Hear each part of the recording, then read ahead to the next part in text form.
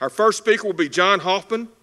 John oversees the Lower Colorado River Authority's water, river, irrigation, dam, and hydroelectric operations, as well as surface water management, water resource planning, and other functions. Prior to joining the LCRA, John was a regional manager for the Brazos River Authority and served as the authority's manager of government and customer relations. Other career highlights include serving on governor, as Governor Perry's liaison to the Texas House of Representatives and working in the Commissioner's Office at the Texas Commission of Environmental Quality. Let's, let's welcome John Hoffman.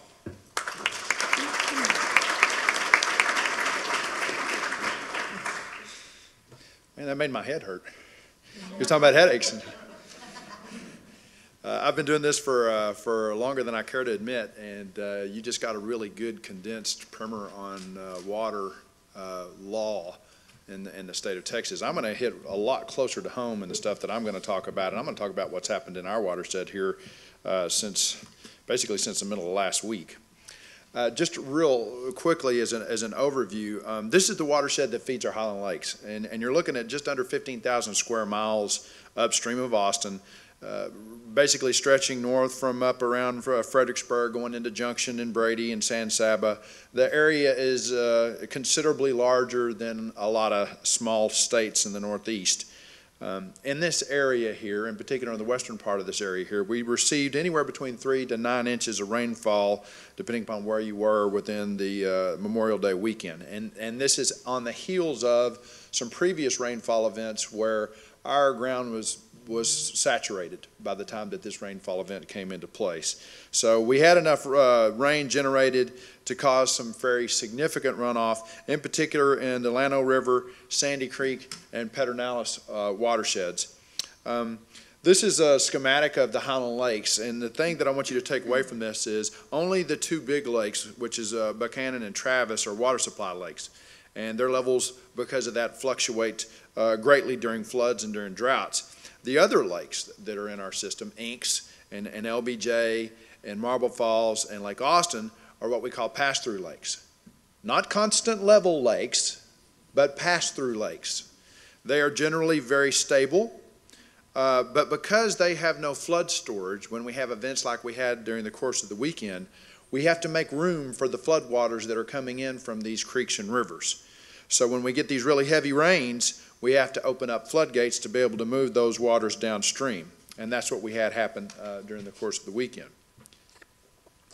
Uh, we had floodgate operations in response to the heavy rains, uh, and at one point over the weekend, we had nine floodgates open uh, basically along the pass throughs. We had one open at Wirtz, which is there at, uh, at Lake LBJ. We had five uh, gates open at Starcke Dam, which is on Marble Falls and uh, that is uh, was really significant in terms of the amount of water that we had passing through uh, that reservoir and going directly into Lake Travis. Uh, and then downstream of Lake Travis, we had at one point three uh, floodgates open at Tom Miller Dam. We never had any floodgates open at Mansfield Dam or on Lake Travis because we still have a whole lot of ground to make up at Lake Travis. So uh, I did, as you can imagine, a lot of interviews over the course of the weekend. And one of the interviews that I, that I remember uh, vividly was I was talking to Bob Cole at KOKE FM, and they were insistent that we had a gate open in Mansfield Dam. And, uh, you know, you kind of go through a thing where it's like, no, we, we don't have a gate open there.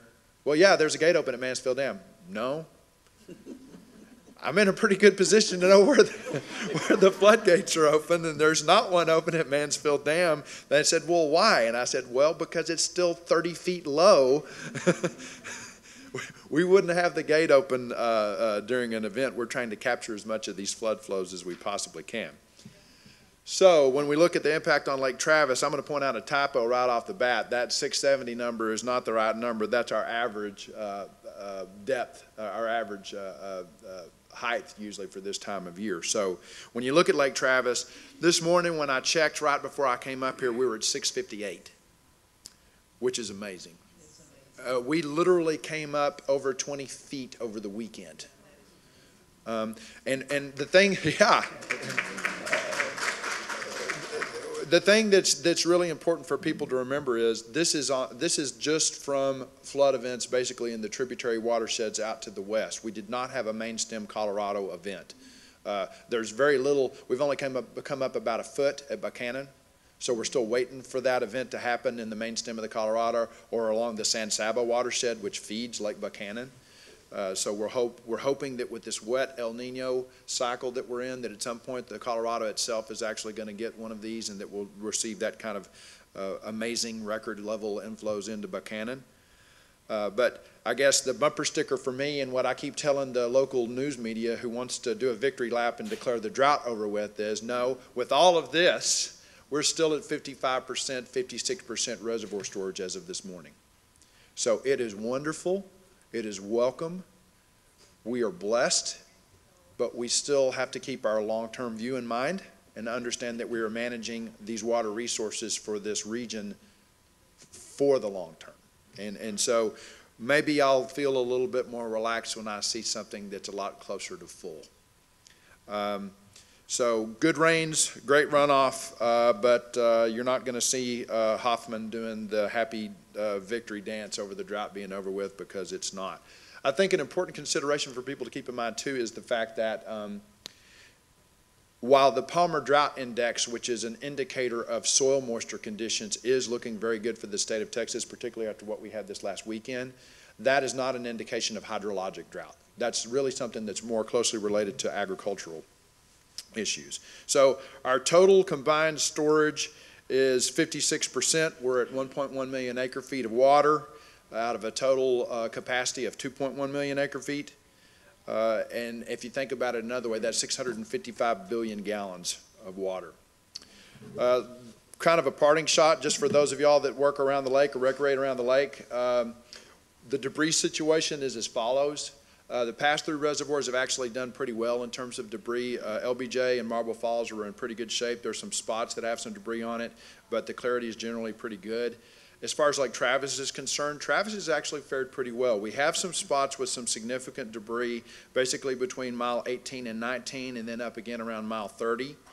Uh, boaters should avoid these areas as much as possible, especially at night. I know everybody's excited about having access to the boats with the boat ramps being, open and, and, and getting out on the water with the additional uh, elevation. But there are some unmarked uh, significant unmarked uh, hazards that are out there, and so people need to be very, very careful about where they're going. Also, the channel marker buoys, as you can imagine, have been moved, and so we have crews out this morning trying to, to move the channel markers back, uh, and we'll do everything we can to try to work that. There's a whole lot of the debris that's on the lake that's just going to have to be there, and what's going to happen over time is it's going to sink, uh, and it's a natural part of our lake's process where it, it basically adds to the circle of life uh, on, on Lake Travis and creates, uh, creates part of the food chain for the, for the fish that to make for a healthy ecosystem within our Lake Travis. So that's what I plan to cover this morning, and I'm sure we'll get into a lot of other issues during Q&A.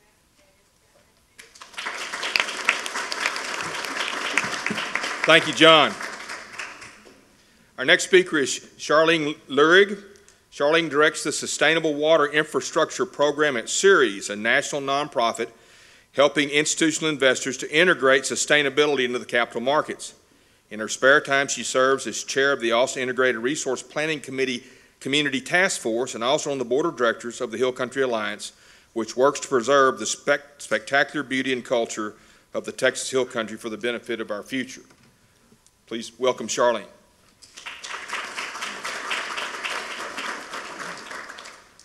Good morning. Um, I want to concur with the excellence of the presentation you got earlier from Charles. It was a very um, quick, rapid fire, but extremely um, insightful overview of Texas water law. And it couldn't be coming at a more important time, I think, for the state as we are explosively growing, um, kind of coming off the tails of a drought that hopefully should be a cautionary tale for where we need to be focusing our efforts, even as things start to improve hydrologically in the state. And we all have our fingers crossed, obviously, that that's going to happen um, over the next few years to give us the time that we need to actually plan for the drought that we know is coming next. Because, as Charles mentioned, we always know there will be a drought that comes after this one because we live in Texas.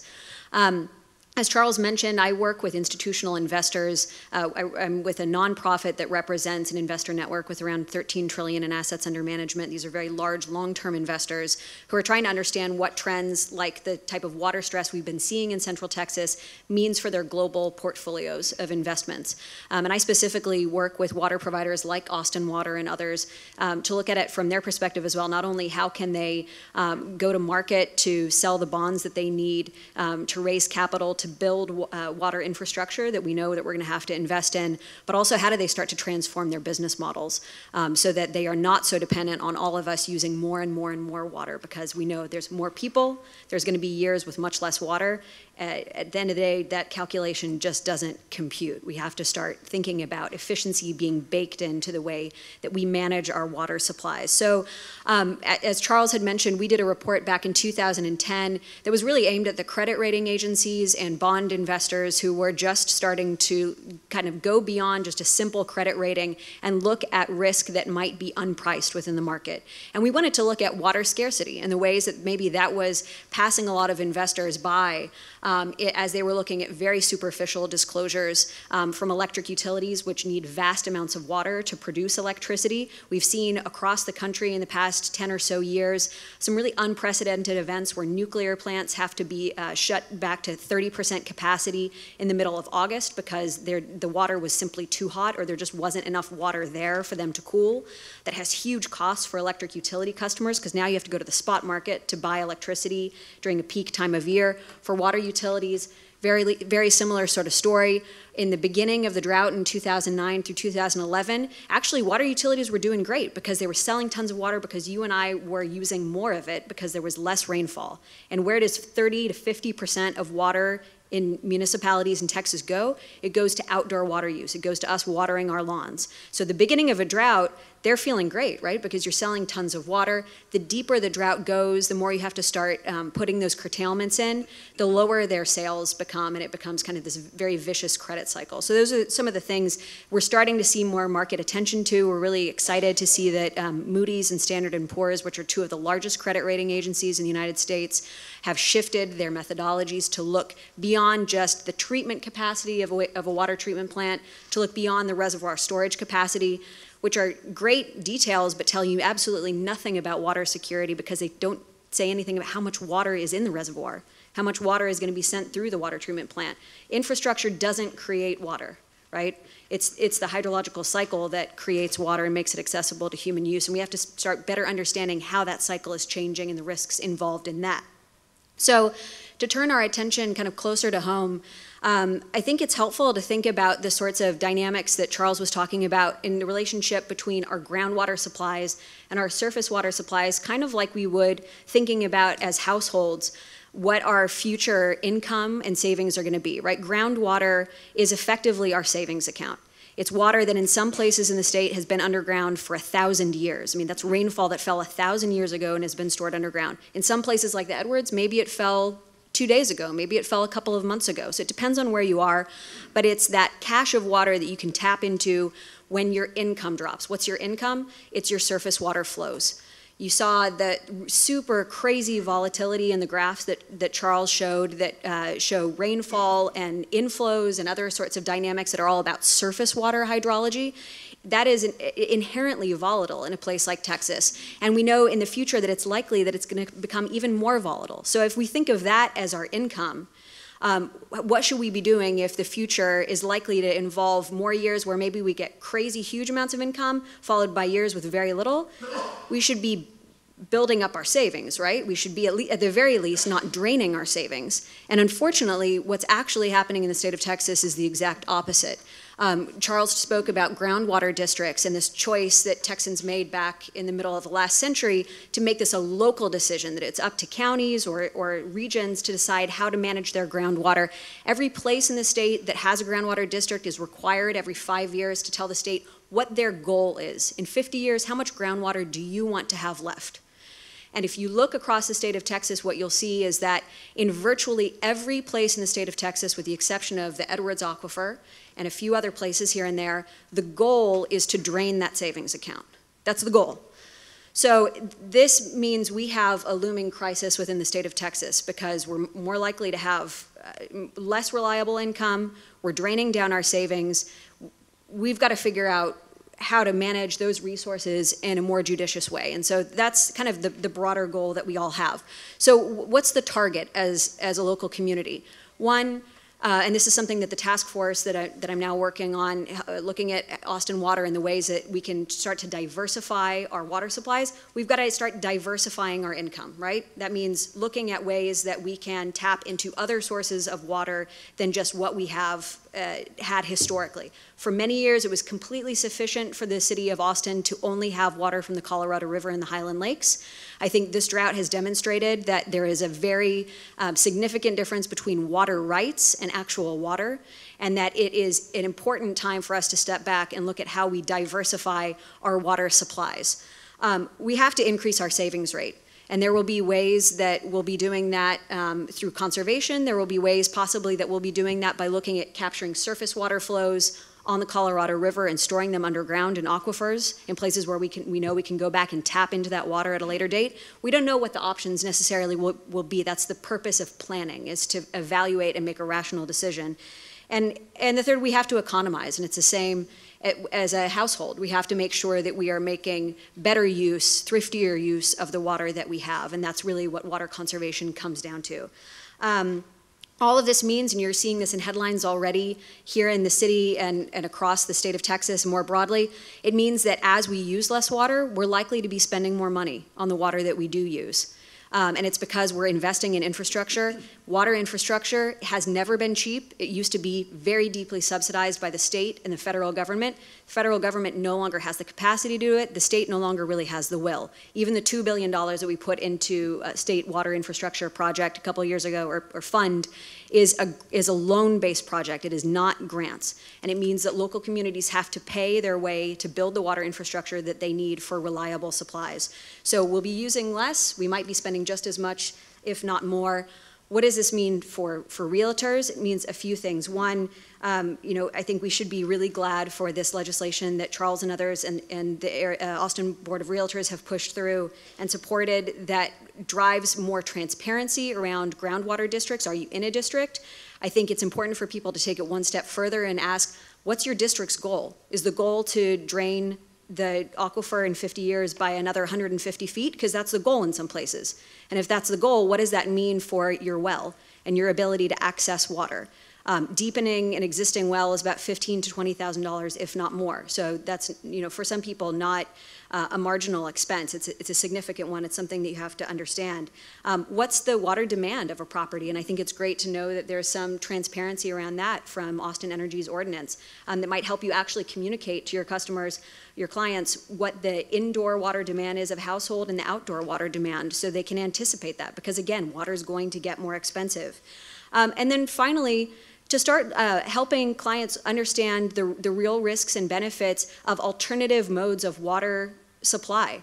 Um, I was extremely skeptical of um, people who really proselyt were proselytizing about rainwater capture until I visited some rainwater homes, homes that are living on 100% water that they capture on their roofs, and talking to those uh, people about the economics of those systems. In a place where it costs $20,000 uh, to drill a well that may or may not get water and may or may not have water in five to 10 years, it costs about the same amount to outfit a house to capture the water from the roof. If you use it economically, even in a drought, there are people who live throughout this drought and never ran out of water.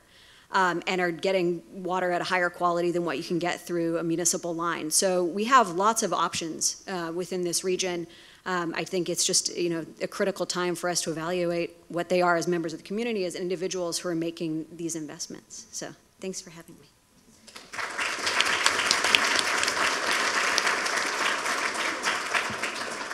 Thank you, Sharlene. Our next speaker is Greg Meszaros. Greg has been director of Austin Water since September 2007.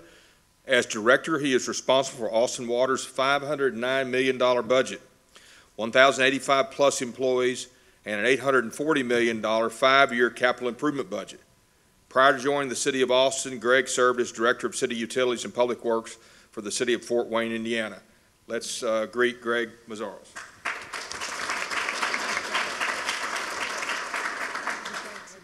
Well, thank you. Pleasure to be here. I, I spoke to a subset of this group about a month ago. I found it to be a very informed, very thoughtful group, and so looking forward to questions today, too. Uh, a little bit of background on Austin Water. Uh, Austin Water serves most of metropolitan Austin. We serve about a million people. As described, we're a very large utility, 7,000 miles of pipe. We have three large drinking water plants, three large wastewater plants. Uh, certainly, water supply planning, drought response, risk management is a central function of our utility, and, and, particularly through this latest drought. You know, it starts with, with conservation and wise water use. I think that the future water in Texas is going to be much different than the past, and, uh, and that includes how we all change our own personal behaviors in using water. And Austinites have responded wonderfully there. We've implemented a whole series of conservation programs. We have a very strong pricing signal built into our rate structure. We have our residential rate structure is one of the most rapidly inclining rate structures in the nation. So the more water you use, the more pricing signal you get to curtail your discretionary water use. We've uh, improved significantly the way we respond to leaks in our system and reduce lost water. We uh, have incentives for people to save water and tear out landscaping and switch to drought tolerant landscapes. We have educational programs. We've been reusing water, thinking differently about water, not just using water once and returning it to the river, but reusing it multiple times. You know, for example, if you golf on a municipal golf course in Austin, we've converted all of those golf courses from fresh drinking water coming out of the Highland Lakes to highly treated wastewater effluent, what we call reuse water. If you go to University of Texas and some of their cooling towers now use reuse water instead of uh, regular drinking water. Industrial customers all across our system are doing those things. Uh, reuse at the home. You heard about capturing rainwater. Uh, there's uh, gray water applications now where people are using water that uh, is coming maybe out of their wash water and using that to, to water lawns and plants. And, and that's the future of water. Much, much different than the past. If, you know, that's the one thing that you'd leave here today with is the next 25 years in Texas water is a lot different than, than the past. And the persistent mindset that we're always in a drought. Just we saw those cycles of, of, of kind of bust and boom. We don't want to get where we have a problem, we don't have a problem. We have a problem, we don't have a problem. That's not the case. We really need to think persistently about managing water risk in Texas. Clearly, Texas, if you look at the historical record, is subject to these mega droughts. Even now, oceanic patterns are set up in a way that we're at high risk for very long duration droughts, even though there may be short term interruptions with flooding events that fundamentally we're going to be in these long-term uh, uh, mega droughts, droughts that last uh, you know many many decades. And that's the mindset that we're, we're trying to use in Austin Water. Sharlene alluded to it. You know, I've been in the water industry now over 30 years, and, and essentially for most of that time in our history, the, the model, the approach to water is, is we'll supply you almost unlimited water for really low cost. That, that, that was, you know, and that, that's, we took a lot of pride in that, that that was what our industry did. Use as much water as you possibly can, and we'll charge you a tiny fraction of, of your household budget for that, and good things will happen. And they did. But that's not the formula for success for the future. I mean, that's been an internal struggle for our organization. 1,100 employees, you know, part of a, a broader millions of water professionals, is, is seeing that future changing, uh, where business model adaptation, where we all use water much more wisely, where, I mean, I think the future, just in Austin, for example, I was here 20 years from now, I don't think anyone's watering their grass with drinking water in the future. I think that's, that's over. That's not going to happen. It might take us 20, 25 years to ultimately get there, but, but that's the model that we have to get, particularly in areas like Central Texas. Uh, realtors are helping us with this. We're working with Home Builders Association. They're about to roll out in conjunction with us a new standard where all future landscapes for all new homes will be drought tolerant. There'll be no St. Augustine grass in the future planted. None.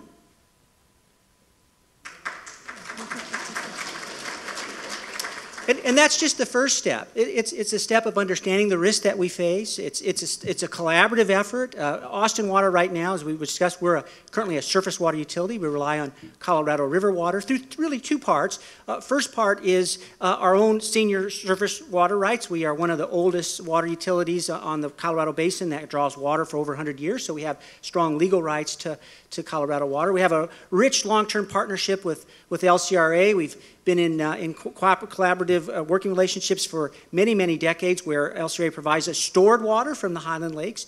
But fundamentally, we are established along the Colorado River system. And while that's still going to be a central component of our water supply for the future, we are going to have to think a lot differently about not only how we preserve that water in Colorado, but how we think differently about other sources of water. You know, I mentioned a few like reuse and rainwater capture and groundwater. Uh, Sharlene was talking about uh, other techniques like aquifer storage and recovery when we're maybe in one of those those high water cycles where we have some flooding rains and there's a lot of water in the basin that we might take some of that water and store it underground.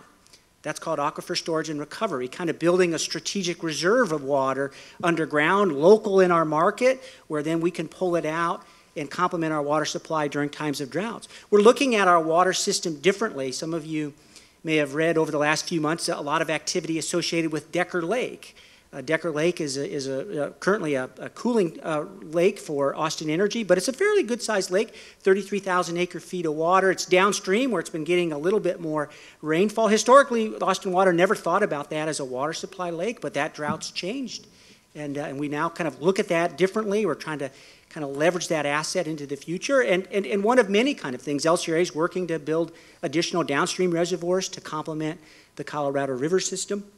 I'll go back to reuse, this highly treated wastewater effluent. There is no reason, no technology exists that, that, that you, you can't make that into drinking water. Communities do that today. Wichita Falls, you know, they've since broken out of their drought with these recent rains, but, uh, but fundamentally they were experiencing just an epic drought. I mean, over 150,000 people lived there and they were on the verge of running out of water. I mean, you know, just that, that close. They've since converted to taking reuse water and making it into drinking water. That's the future. That's going to be happening in California, all, all, across the industry. If you really look at an industry, you know, everyone's downstream of somebody else. What do you think Houston's water supply is? It's Dallas's wastewater effluent essentially. So this isn't some foreign concept. I mean, it's the ultimate kind of drought-proof cycle. You take reuse water, you take you make it into drinking water, high quality, you circulate it back around. You, that's an endless loop that, that you work on. Those are parts of our future. There, there, there's ways to accomplish that in, in a way that's really, really risk-free. I'll kind of conclude, I'll go back to kind of business model adaptation and this theme of the future being different than the past, certainly for Austin Water. I, I, when I was here a month ago, I, I showed a little slide it was from last summer. You know, Austin Water, through our drought and all of our programs, we cut our water demand, uh, our water use by our community by over 20% over the last few years. We're at all time lows. Uh, matter of fact, you have to go back 15 years to find a time when Austin Water used more water in a year than we did just last year. And that's really a testament to how successful we can adapt our culture to water. But it's really hurting our business model. You know, we fundamentally uh, don't have enough money to operate. Uh, last summer, our cash balances went to uh, zero, negative, below, actually. If we didn't have a wastewater utility helping us, which is much more stable financially, you know, we, we were essentially uh, insolvent uh, as, as a utility. Um, we uh, had our bond ratings. We're on a negative watch list for our bond ratings and, uh, and may very well get downgraded in the future because of some of these financial risks. So we've been adapting our business model, and you know, kind of indication of how far we have to go in terms of people understanding that is last summer when we raised rates as a part of our business model adaptation and uh, and the dropping demand. The first thing that happened is Texas Monthly ran a big ad with the bum steer of the month, and they gave it to Austin Water because we had the audacity to try to keep our water utility financially solvent through the worst drought in the history of, of our city.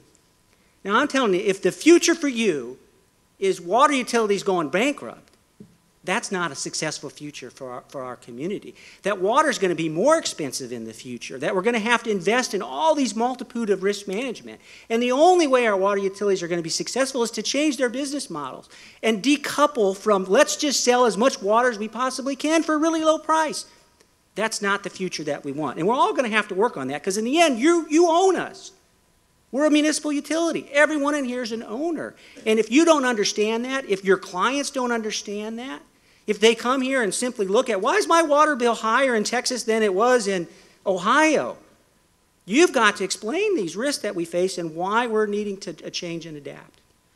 So, with that, I'll turn it back over.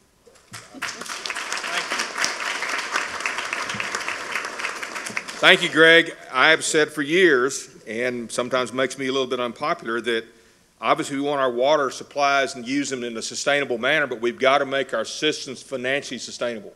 And throughout the history of Texas water, none of us would invest in something where we wouldn't get back a return of our investment for 20 years, right? We want a return on. They didn't teach me my first degree to worry about return of. They wanted to maximize the, uh, uh, the on. The of's important. And we, throughout history in Texas, have always politically kept the water rate too low.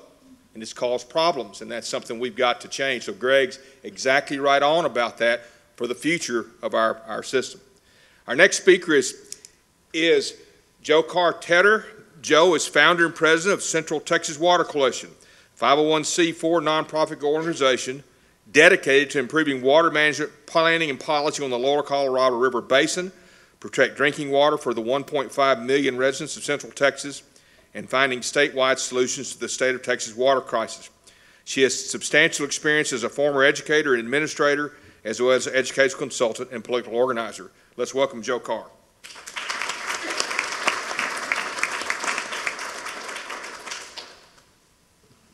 Thank you. Ah, there we go. Um, we are a nonprofit. Um, we formed after working with LCRA's water management planning process, and the playing field was not very level. So we decided that Central Texas needed a stronger voice. We're all volunteers. So we're not paid to do our job. We're not tied to a municipality, to a city council, to a commissioner's court, or to a business. So what we have been able to do is think out of the box. We have been able to um, use hard data and sound science for everything we do. We have been able to ask the hard questions that are not always politically popular. I frequently talk about my first LCRA meeting experience, um, I was sitting next to Ross Crow, who's a water attorney for the city of Austin, and the meeting went on and on, and then they went into an executive session. So we're gathering things up, and no one is moving in the entire room. So I look at Ross, and I said, What's the deal? We stood up, and out of like 45 people, there were two of us from the public. We were the only ones in the room that were at those meetings. So we now make every meeting. We type up notes, we make it available to our membership. Um, we did not have a good partnership with LCRA until John Hoffman and Phil Wilson and the senior management change came in in 2000 last year in 2014. Up until that time, we were treated and viewed, I think, as more of the enemy. Um, when they came in, they were the first group with LCRA who didn't grow up in the system. They came in with outside eyes, so they had a fresh perspective and they were willing to look at things. And all of the things you've heard today are the things that we have been dealing with for, for five years. Um, our focus is on water management policies. When we started this, the drought hit and we were afraid that was going to happen. And we were talking about, well, what's the plan if there's a drought? And we were told at that time that it will rain. And we thought at first they were kidding.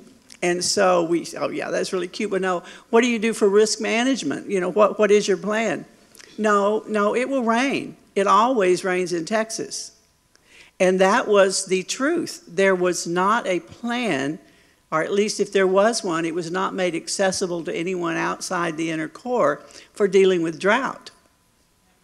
Um, and then you get off into um, cost of water. And I know every time I show this when John's going to want to respond to this answer, I know they're in the process of looking at changing the way the, the rate structures are done. But one of the things that we have said from day one is if the water pricing were more equitable basin wide, you would have people who would conserve better. If you value something, you conserve it. If it's expensive, you conserve it. We are careful with our water up basin. Our irrigators down basin do not have the same history that the city of Austin has with conservation. If the water rates were more equitable, they would conserve more. And that would create more funding for new water supplies and new ways of looking at the water. The other thing, all the things everybody mentioned about ASR and all these different, these are not new technologies. The, it was new technology 50 years ago. Solar heating is not a new technology. If you travel, you go to Turkey, they've got buckets up on top of their houses. The sun heats it, it comes down into the shower. We have been spoiled because we have always been the land of plenty. But we now know that if you live in central Texas, we are not the land of plenty where water is concerned. And there has been a paradigm shift in the way water is working in Texas. But the policies have stayed the same. It's all based upon using it all up, consumption rather than conservation. And that sounds simple, but this is Texas, as you all know. it is hard to change traditional ways, but this drought was a wake up call. This is uh, um, from the Lake Travis Economic Impact Study, and I left this in even though I had put this together prior to the flooding. But I think it's really interesting because you can see at 650, um, you start having severe economic impact on your lake.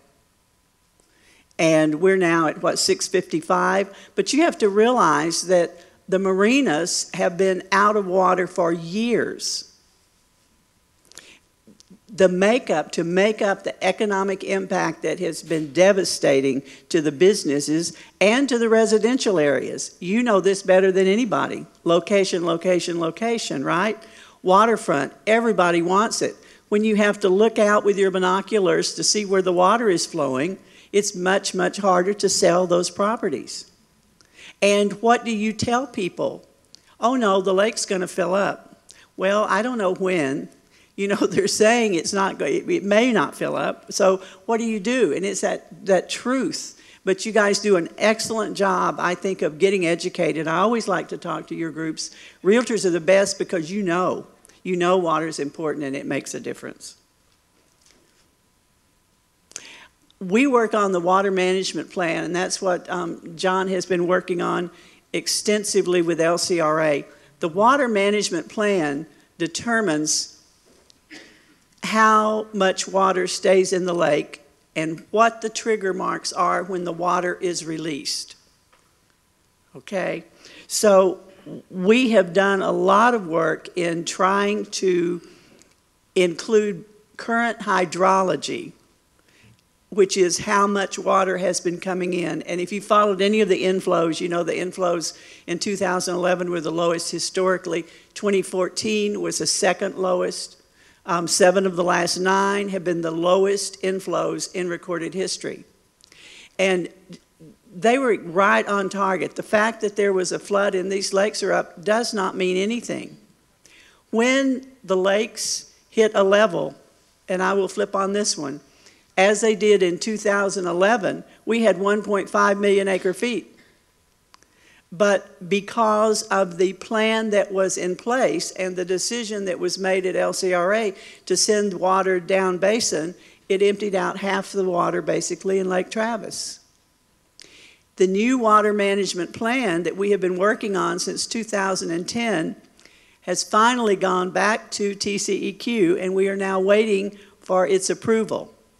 When that happens, there'll be an opportunity for public input, and then we hope it will be in place. In the meantime, we've had to get emergency drought orders to keep from having to send water downstream. And that's just the critical element. Everything is confusing about water. It is extremely complex. You've got Texas Water Development Board with their state water plan. You've got TCEQ with the water management plan for the river basins. I always like to end with this one because it's the one that is really, you know, you kind of use it and it's just kind of cute, but it's really, it's really the real thing. You start out with drought, people get a little concerned, but as it continues, you start having panicking, oh my God, what are we going to do? Then you have a little rain, and it didn't even have to be a rain like this, just a little rain. Everybody says, oh, hallelujah, the drought is over. The drought is not going to ever be over if you live in Texas, if you live in hill country. We are floods, it's feast and famine, it's floods and drought. And the way the hydrology is working, it is, we're becoming more and more semi-arid. And that's just something we're going to have to accept and deal with. So that's it. I tried to keep it to five minutes. Charles, I don't know how I did. Thank you very much. It will rain again here, but we've got some big issues in, in water in, in, in Texas, and we're not ob- oblivious from those issues in Austin.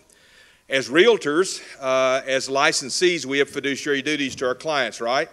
When it tells you three times in the rules of the Real Estate Commission that you've got fiduciary duties, that probably means that they mean it, right?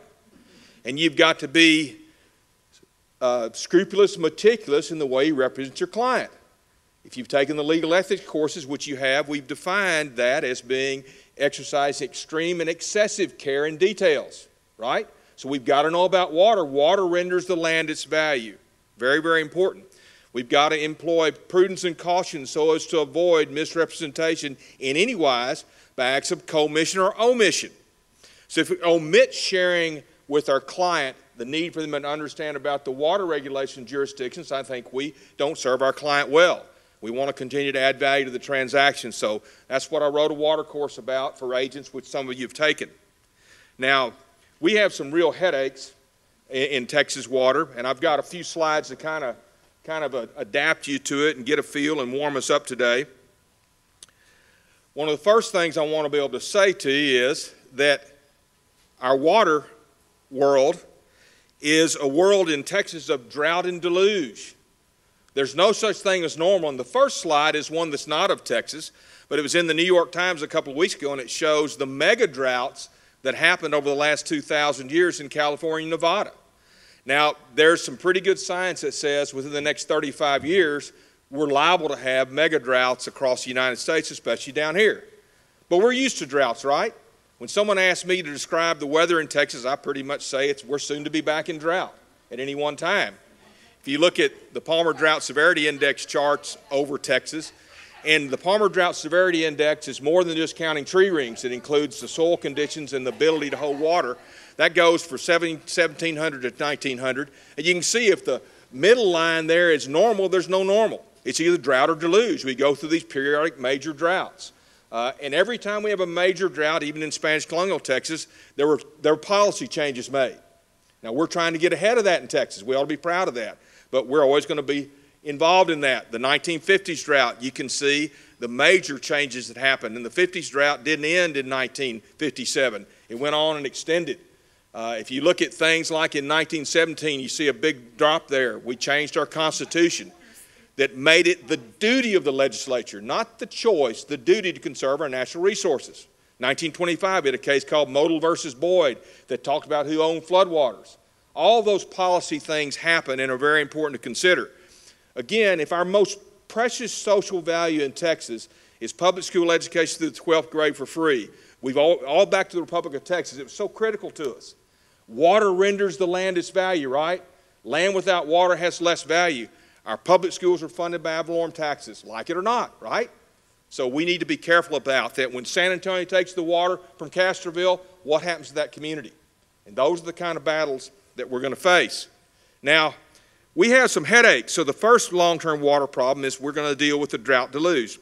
The second is that we don't manage our water in Texas policy-wise based on the hydrologic cycle. A water molecule in Texas changes its ownership like a chameleon. As it comes through the cycle, it rains on the ground. As it comes across the ground, it's called diffuse surface water. You own it if you capture it before it goes into a water course, right? Goes into a water course, something that has intermittent or permanent water on the surface, it's owned by the state of Texas. When it pops underground, it's owned by the landowner. So, that water molecule in Texas is like a chameleon. As it goes through this cycle, it changes ownership all the time, which makes it complicated. You may remember when we were kids, we'd walk in creeks and the water's kind of warm, and then all of a sudden you'd feel cold water on your toes. That's an aquifer feeding the creek. You go back and further up, you'll see a little whirlpool in the creek bed. You'll see it feeding the aquifer. And this happens continuously through the cycle. Tom Hatfield, who's a ex-dean at UT, good friend of mine, wrote the book Rudder. In 1964, he wrote about the difficulty in having a central policy for water in Texas. He wrote a, his master's thesis about the 1950s drought, and he said, you know, the worst drought in Beaumont history is about 16 inches of rain. But you apply that to El Paso, and that's double the rain they get in a normal year. So we're having people in Austin trying to make decisions on a statewide basis on a state with, uh, with a lot of variance, which makes a difference. Now, as I said, so you can understand it, I wrote a book about water rights to help the people understand better what they are. I'm not a lawyer, I'm not a hydrologist. But if you look at water rights and think about water from three different the geological containers, you can get the clue really quickly. Natural surface water, water that flows in a bed and bank, no matter who owns the bed and bank, is owned by the state of Texas, held in trust for the people, and managed by the TCEQ. Period. It's all allocated, without a doubt. We, the TCEQ passes those rights on to the LCRA and the other water authorities and manage it in that way. Diffuse surface water is owned by the landowner if you catch it before it goes into a water course, and it's supposedly managed by the TCEQ, but we're kind of, we, we do to a degree. The big, the big gorilla is groundwater. That's water that's beneath the ground in aquifers and pools. And we try to manage it by groundwater conservation districts. That leads to another one of our headaches. That is, we don't have groundwater districts all around the state.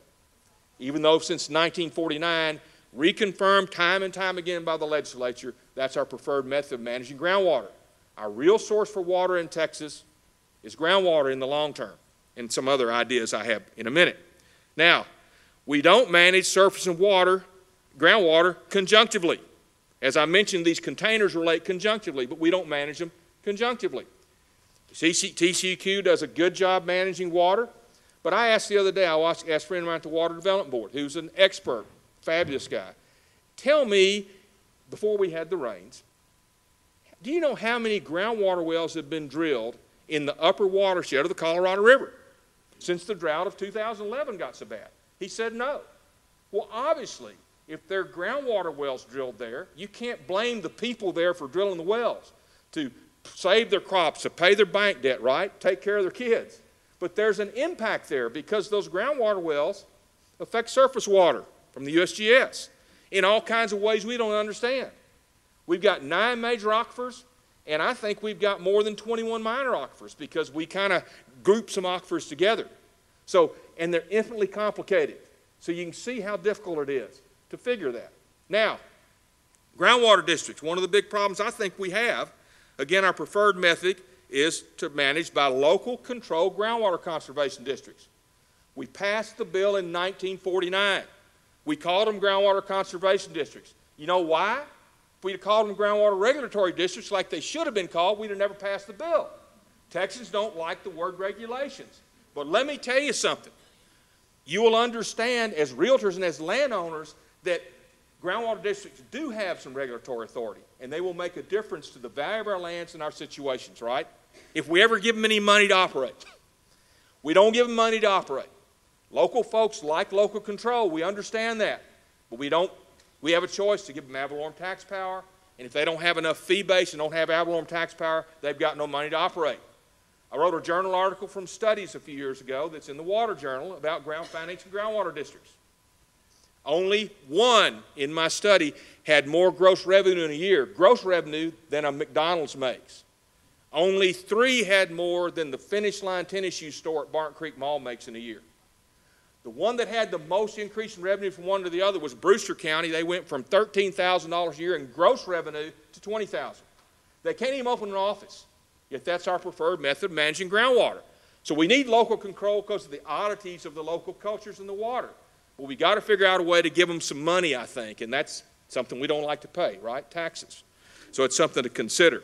Now, we have we have made it one of the problems with groundwater districts is no one really knew about them. Uh, so through my many speeches around the state and going all over the state, most people don't know what a groundwater conservation district is. Most people here don't want know what a groundwater district is, right? Travis County has no groundwater district. We have a little sliver in the bottom, which is the Barton Springs Edwards Aquifer District. But everywhere else in the county, there's no district. There's no district in Val Verde County. There's no district in Williamson County. So in those counties, the old rule of capture runs. That means he who has the biggest pump gets all the water. There's some modifications of that. And I'm waiting to see in Travis County what's going to happen. When one of the pe- when my neighbor and I drill water wells and I pump enough water out from under his house that cracks his slab, that's called subsidence, and that's the one modification. The others really don't apply. So there's a lot to be said for the rule of capture. There's a lot to be said against the rule of capture. So we made an effort at the Austin Board starting two years ago, Joe Babb and others, we got together and said, we need to help the people of Texas begin to understand what a groundwater conservation district is. We felt the best way to do that was to modify the seller's disclosure notice and add a sentence. Do you as a seller know whether or not you're in a groundwater district or not, groundwater conservation district or not? Now, there are all kinds of problems. There are mapping problems. There's all kind of headaches with that. But we put that in effect at the Austin Board about a, about a year ago. We've had no complaints. So we decided to change the property code, section 5.008, and in a two-year process, we went to TAR, the Austin Board, the Texas Water Conservation Association, the Texas Alliance of Groundwater Districts. We got unanimous approval to add, to change all the seller disclosure notice in Texas to add one simple sentence. That is, is the property in a groundwater district or not? We started out this way. We ended up with this language. Any portion of the property that is located in a groundwater conservation district or a subsidence district. I testified at the House Natural Resource, the Senate uh, Business Commerce, and it passed unanimously. On Monday, it went to the governor's desk. Now, think about this. Over the next 10 years, if you assume we do more than a million total listings around the state, right? Just assume a million in a year. You've got a listing agent that has to read that sentence, right? You got a seller that has to read that sentence. You got a buyer that has to read that sentence. They may not pay attention to it, but at least it's there for them. That's 30 million people in 10 years, right? You add the buyer's agents, it's more than that.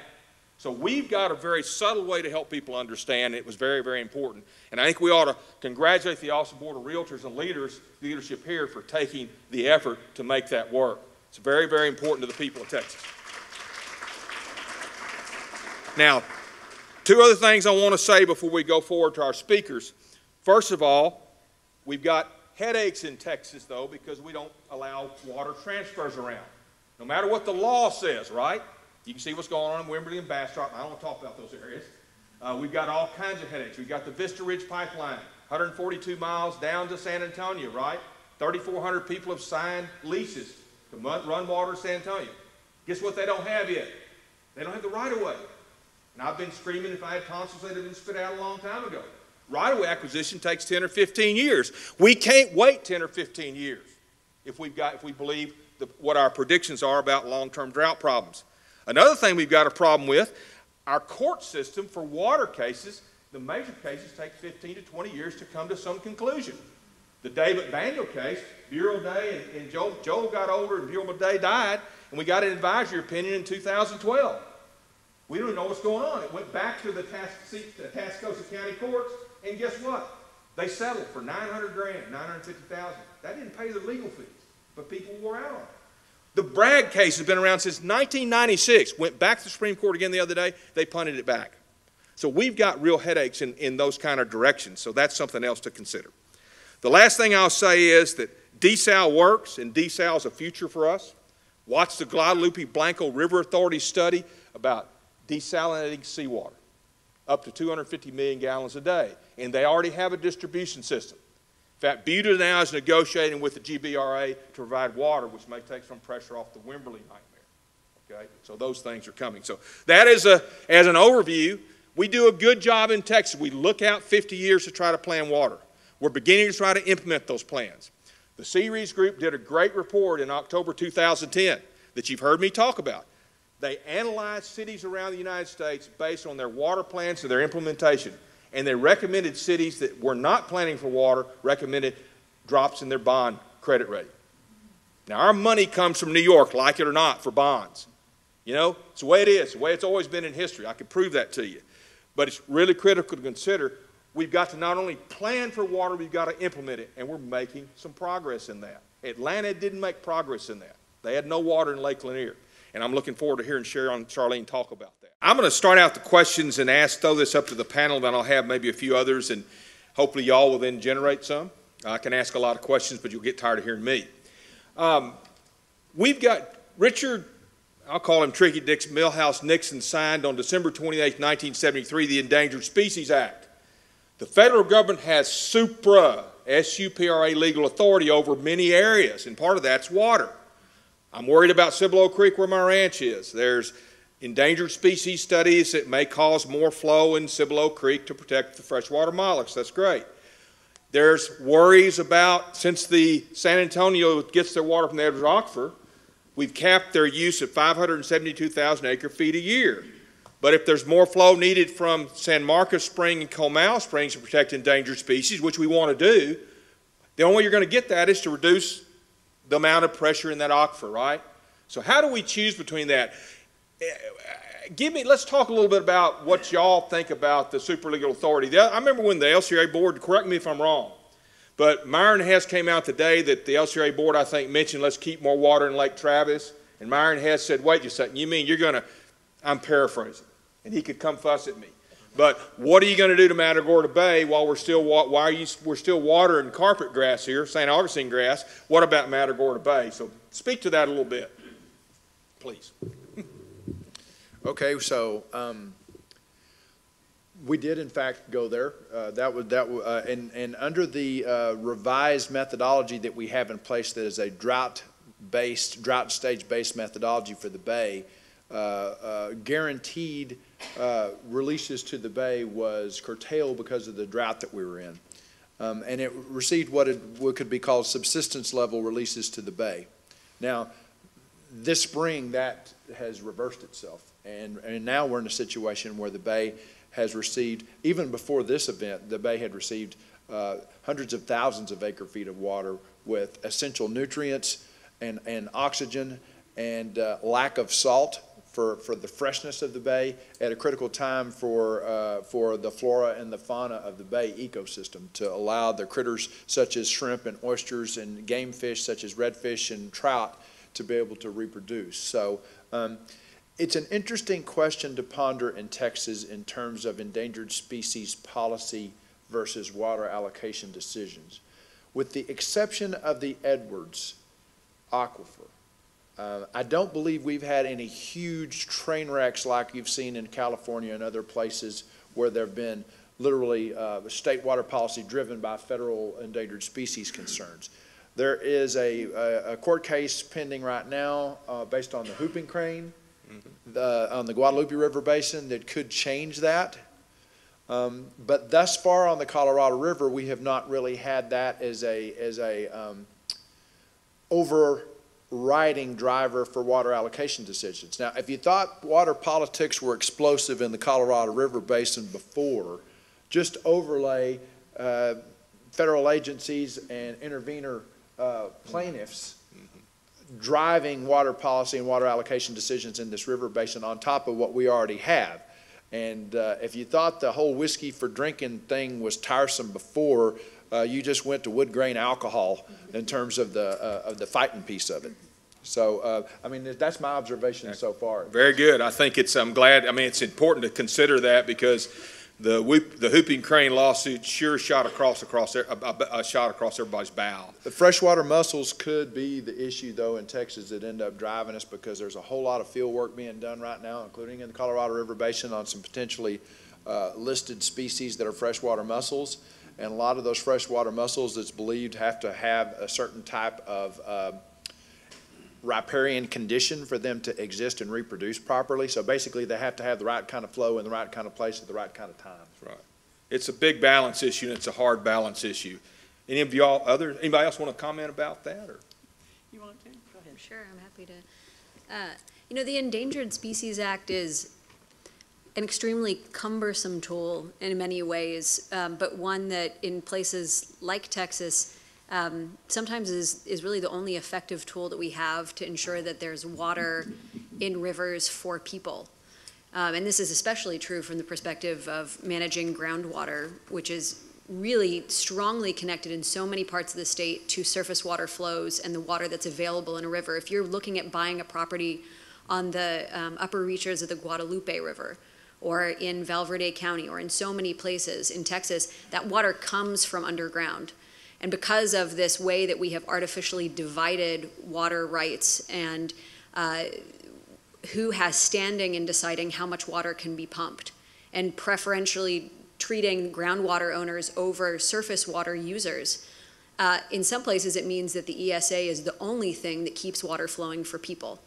And that is, I think, a sad state of affairs. But until we are at a point in the state where we are willing to actually not, well, to put money aside so that we have base flow in our rivers, I, I don't know how else we get around it. From the perspective of real estate, I mean, it's, it's, it's strange to me that the policy discussion has been so dominated on the side of, of private property rights by those who really want to uh, commoditize and consume their water, and that there has been su- such relatively little organization uh, and consistency of messaging among those who would stand up in defense of the pro- property rights of people who believe that water has a value to the land, even if it's not consumed. Um, and, and that's something where maybe other people have kind of more prescient or insightful things to say Well, that's, do. that's ended up going into a correlative-based system, but where there's a right associated with the ground, uh, with, with the groundwater in the ground. And groundwater conservation districts at least have been very loath to go down that road for fear of someone bringing up past regulatory decisions that weren't based on that and, and suing them. So even though everybody admits that, that I think is, has delved into this issue in any detail, that if you left to your own devices and you could start from scratch, you would start with a correlative-based system and have some relationship between the surface and the water that's in the ground, so there's value associated with it, such that it could be protected as a real property right. It, it's, it's basically goes back to rule of capture, and if you can, you know, bring it to the surface and put it to beneficial use, then it's yours. That's right. Um, I would like to add just one little thing on Matagorda Bay. It's always been a, a a hot button with the upper basin and lower basin about when the water was cut off to interruptibles down basin, that it was devastating to Matagorda Bay. So we had um, Dr. Jordan Ferns, our hydrologist, do a study, and our study actually showed that Matagorda Bay actually received more water when the rice farmers were not getting water than when they were. And that was based upon 2012 through this year, um, the water, we've had the emergency drought orders in place. So the, I think the other thing, being an old-time environmentalist, is that nature adapts. You know, before you had river authorities, you had feast and famine, flood and drought in central Texas, and things survived.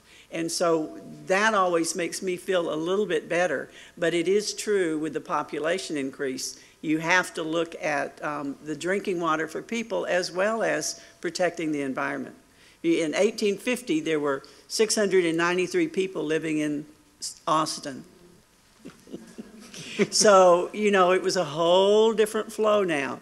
Right now, there's 1.4 million in Travis and Burnet County, and that's where your Highland Lakes run. Well, that is a lot of people, and it's a complete change in the dynamics of the way things happen. Six hundred and ninety-three, that's awesome. They were the first ones to come here and try to figure out how to, don't tell anybody about it, it's great. It's just for us. Well, Greg, I've got a question for you. Um, Is the city of Austin considering any plan as a contingency to drill any groundwater wells for backup? Have we thought about that? We, uh, we are uh, in the process now of doing what's called Integrated Water Resource Planning, uh, IWRP, where we're looking at over uh, long-term horizons in 30, 50, even 100 years. We have a advisory group uh, that's assisting us. Uh, Sharlene's the chair of that, a citizen group, uh, working also with our council. And we'll be evaluating all those types of strategies about um, other water sources and uh, potentially, you know, which could, could include groundwater. Although our community has voiced a lot of preference for localized water resources, uh, water resources that are developed more locally as opposed to, say, a large importation of water from, uh, from counties outside of our general market area. You know, I think one of the themes that's coming out, you know, there's a lot of uncertainty and risk associated with groundwater and groundwater districts and the laws that they rely on, and that we want to be kind of thoughtful and do a lot of risk scenarios and, um, and, and ultimately develop uh, water supply solutions that endure for our community. You know, we, we don't want to make a short-term decision that may cost billions of dollars that turns out to be uh, on a shaky foundation. And, and so I think we're, you know, we're cautious about uh, drilling groundwater wells in any kind of short period of time. We want, you know, data and facts and, uh, and uh, stakeholder input to help guide us where we make these better decisions. You know, we're not taking anything off of the table, but then again, with that said, we're not prioritizing anything above anything else either at this time. Sure, just curious about it. Um, John, I think it would be helpful, uh, I gave a speech oh, a year or two ago with Becky Motl, and, and she made it clear to the group at the University of Texas to kind of define what a pass-through, what, how we misuse the constant level lakes. Could you share that with our audience? Sure.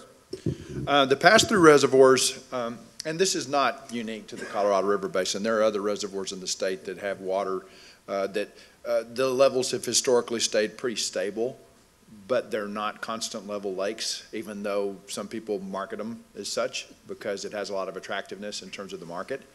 Um, When you look at our pass-through lakes, uh, in particular, uh, LBJ is probably more stable than others because we also have a power plant on, on Lake LBJ. Uh, We have a, a- a- in fact, we just built another uh, power plant and tore down the old one uh, on Lake LBJ. And, and for the sake of using that water as cooling water for the power plant, it has to keep within a certain operating range, usually of a couple of feet. Um, In the past, the, uh, the pass-through lakes, which would be, you know, like Marble Falls and LBJ and Inks Lake and, and, and Tom, uh, the, Lake Austin, uh, impounded by Tom Miller Dam, they stayed uh, static because we needed to keep a relatively high level in the lake to generate uh, hydroelectricity very efficiently. Uh, There's a certain amount of pressure that water creates for itself, and the higher the lake level is, the more pressure it creates as it, as it forces water through those turbines. And it's more of an efficiency issue with, with respect to hydro generation.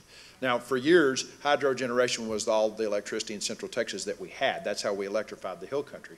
But shortly after LCRA started building power plants, it became very clear that there was a more efficient way for us to be able to generate that electricity. And hydro increasingly was used only in conjunction with releases made for water supply. So we didn't make uh, releases of water just to generate hydro anymore. We would generate hydro when releases of water were being made for uh, people downstream of the reservoirs. So um, where we stand right now with respect to the pass-throughs is kind of an, an uneasy piece that we have with people that live around the pass-through reservoirs because they have thought of them as being very, very stable, almost constant level lakes, uh, and they have been managed very stably over the years. Um, one would have to wonder what the prospects will be if we get into this mega drought cycle that people talk about, where we have an extension of the one that we've been in, and you start to see reservoir storage levels go below 600,000 acre feet, where you really have to look at managing more of a range within those pass-through reservoirs. Uh, it could cause some very interesting discussions to have uh, happen uh, over, over the long term about those. But at the end of the day, they are not water supply reservoirs uh, purely. Uh, uh, Lake Travis and Buchanan are. And they have no flood storage associated with them. So anytime you have a big rush of water coming in, like I talked about earlier, we have to make room for it. And that, what's, why that's important to us as realtors is that we have to represent to people when we sell those houses, you know, out, out on the lakes, on the lakes that are, quote, pass-through lakes. We probably ought to be careful about saying constant level, because somebody might not like that. You've got a question, wonderful.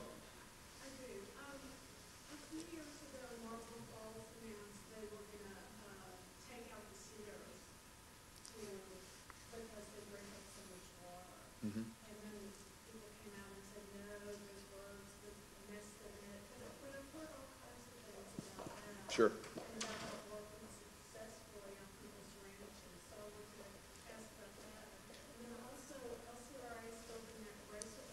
Yes. Sure, sure. Uh, okay, um, I'll take a first stab at this. I'm sure everybody else will probably want to weigh in at some point on cedar. Um, uh, having been raised in the Texas uh, Hill Country and West Central Texas all, all of my life, uh, there's an ongoing and bitter battle between cedar and mesquite and and uh, and human beings, whether it's for range health purposes or aesthetics. Uh, it it uh, there have been some very interesting works at the micro watershed level in terms of spring flows uh, associated with cedar. But you are correct in pointing out that there are two, primarily two uh, endangered species, listed endangered species that have uh, habitat concerns associated with old-growth cedar, uh, black-cap vireo and golden cheek warbler. And we have preserved spaces in Travis County and in the region here because of those two, two bird species. So uh, there is a concern with unmitigated uh, destruction, uh, particularly of old-growth cedar, so it has to be done with, uh, with some uh, judicious oversight. Uh, You know, spot cedar clearing on your property on relatively small, like homeowner-style clearing is not an issue, but when you're talking about large-scale clearing, it's, it's a, it's a bigger deal. In terms of the overall picture, the jury's out as to whether or not it does a lot to help surface water. Uh, in, in, in any big measurable amount. In fact, there's been some studies here recently on the part of Texas A&M and some of the land-grant universities that seem to call into question some of their previous research talking about the wonderful water supply benefits that come from large-scale land clearing. Uh, they point out that there is definitely a range health benefit, and there's an indirect water supply benefit that comes from the range being healthier. But you can't draw a one-to-one uh, uh, correlation between the, uh, the clearing of brush and, and, and surface water supplies in, in particular. In terms of the downstream reservoir, uh, there's been a lot of issues, uh, people asking questions about the down- downstream reservoirs, like, why are you building that down there? There's nobody down there. That's only going to benefit those, those blankety-blank rice farmers. Uh, The, the issue for us is, if you take a look at the, at the annual rainfall, just between the hill country up here that feeds our watershed and the, and, and the lower part of our river, you're talking about roughly to twenty to twenty-five inches difference in rainfall. We had event after event after event in the very first quarter of this year and the latter part of last year that was happening Austin and downstream, and we had no way to capture that rainfall. And it's just like a banking scenario where it's basically there's cash flowing out and we got no, no account to stick it into. And because we have no account to stick it into, when it gets dry and we have, and we have firm customers downstream as well as these interruptible customers, we have to make releases from the Highland Lakes to be able to take care of those. If we had the ability to capture those flows downstream and use them in an off-channel reservoir and cycle that reservoir to take advantage of these events when they occur in the river, it just makes smart water management sense. And the way you got to think about it in terms of benefit to the, to the area around uh, uh, the capital city here is every acre foot of water that we're able to capture and utilize locally potentially is an acre foot of water that doesn't have to come out of storage from, from up here. And if we're able to manage that reservoir storage conjunctively with the reservoir storage that we have up here, we have much more flexibility in terms of the overall picture. And it literally means additional water up, uh, upstream up here. So that's the relationship between the, between the, the project that we have in place right now and, and our existing reservoir system. Any- Anybody else want to answer, have a comment about that? Yes, question? Uh, the big question in this room is, where is the intersection between growth population? We're expecting it to double. So Jo Karr, we're gonna have three million people in this Travis County, Burnet, um, in a few years. And in that case, will we be able to interrupt the firm customers downstream? Not the firms, no, they'll be treated the same way as firm customers up here are treated. Firm customers are firm customers. Interruptible water will then get called into question, absolutely. At the same prices? No, none of these prices will be the same. No- None of these prices will be the same. But I think there'll be a more fundamental question, and some of the speakers touched on it earlier.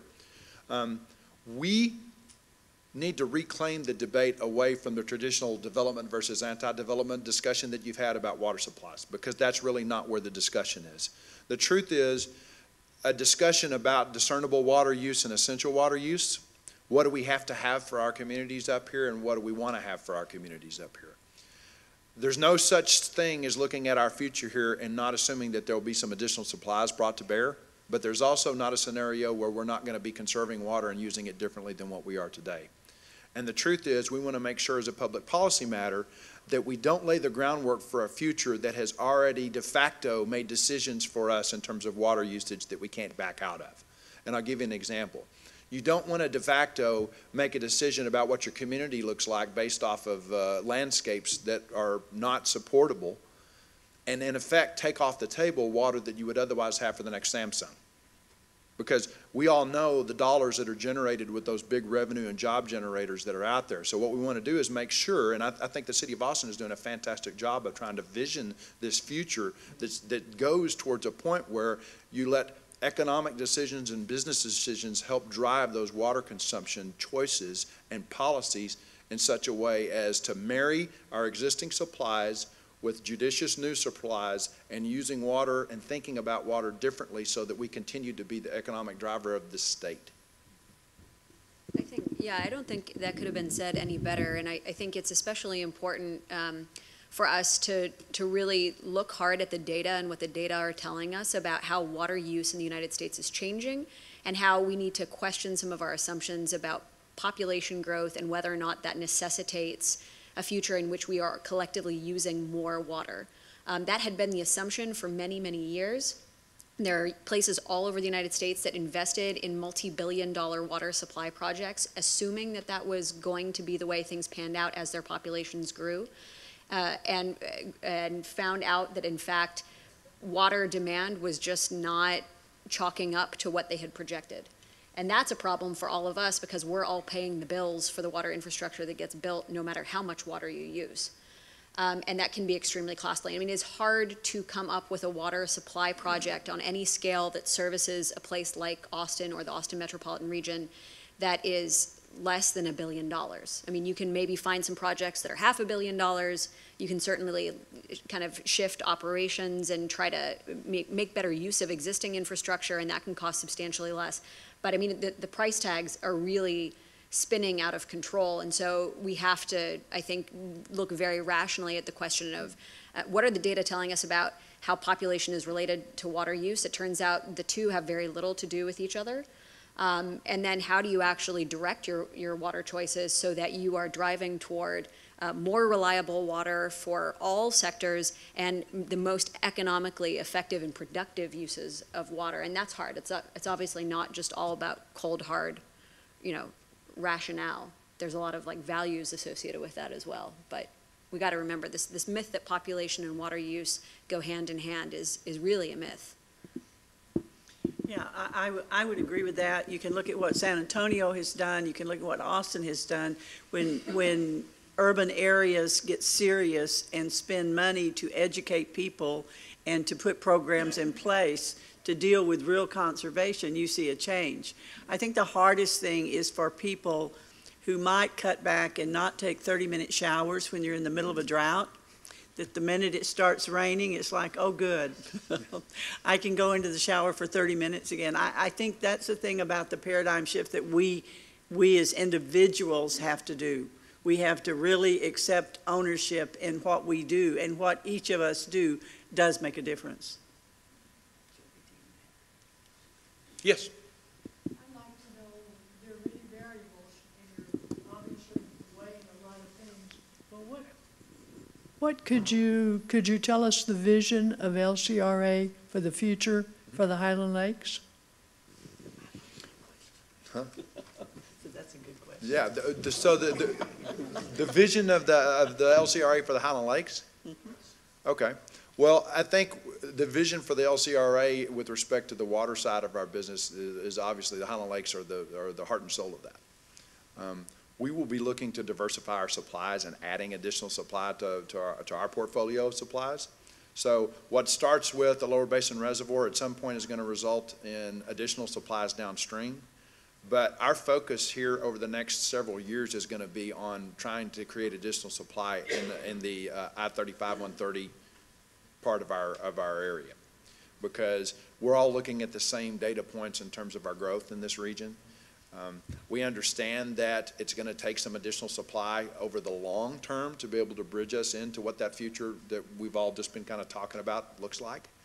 So um, I think uh, the Highland Lakes uh, will continue to be, uh, again, a, a big part of who we are uh, as, as an entity, a big part of our, identity. It's very interesting.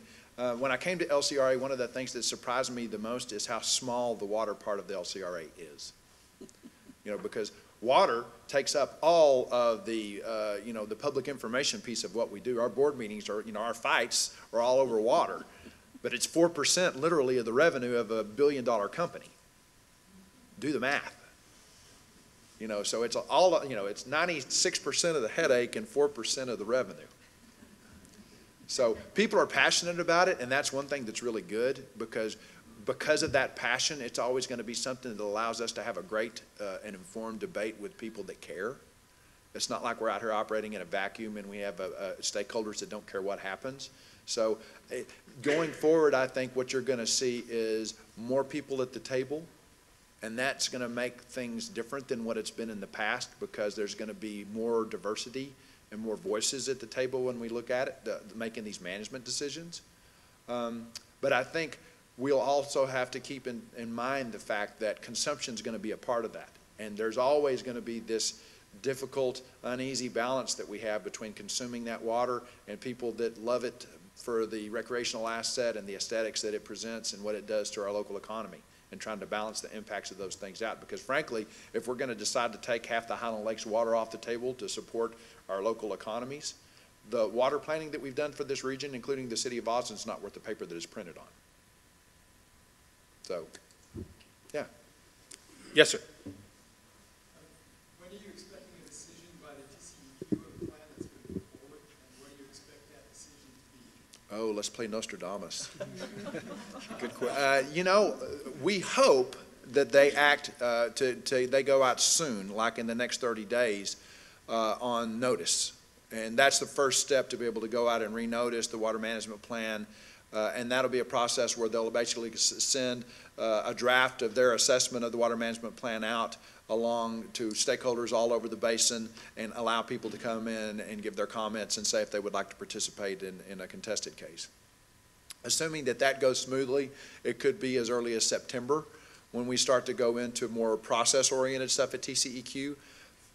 It is a complete wild card uh, Q and A after notice because it all depends on who shows up and what they say and to the extent that they engage as to what TCEQ does with that.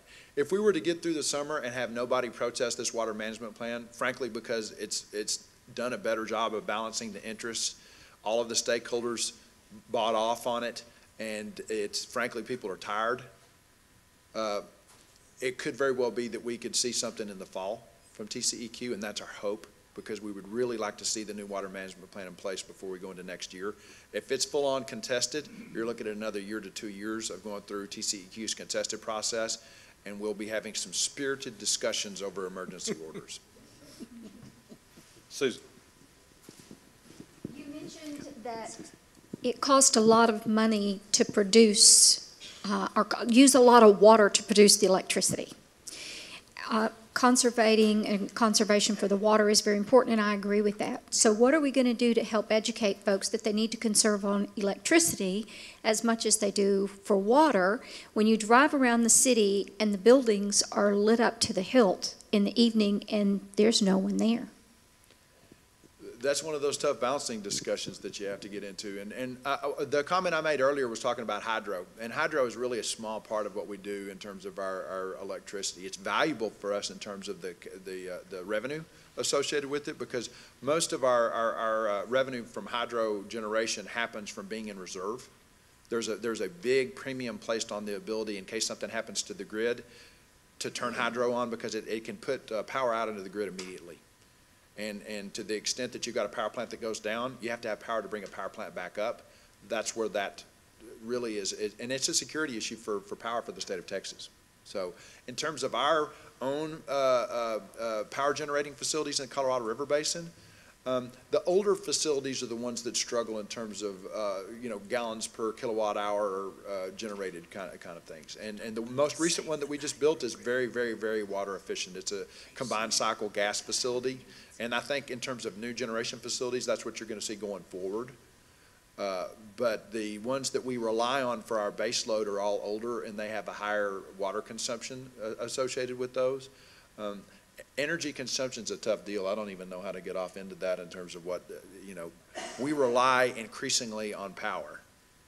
And trying to balance that out, goodness, there's think tanks right now that are spending careers of entire people trying to do this energy-water nexus and the balance between the two and what the future looks like with increased need for power generation and water consumption. Yeah, I would, I, I just would add, uh, on, just from the Austin perspective, one, we work very closely with Austin Energy, Austin Water and Austin Energy sister departments as a part of our water planning process. They're a part of our water planning in terms of their water use. As you are probably well aware, Austin Energy's uh, probably the leading utility in the nation in terms of environmental issues, of switching to more sustainable power supplies, wind and solar, which don't use uh, really water at all. They're modernizing their other plants. I mentioned Decker Lake. They're evaluating their whole Decker uh, power system, whether or not they're even going to need a power plant there. If they do, it'll be a low water use one in the future.